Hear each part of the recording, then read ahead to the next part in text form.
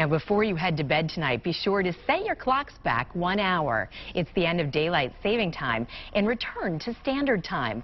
Some states are looking at doing away with these clock changes here in Connecticut. Bills have been introduced to do just that. News 8's Renee Chmiel explains how one lawmaker says it would benefit you.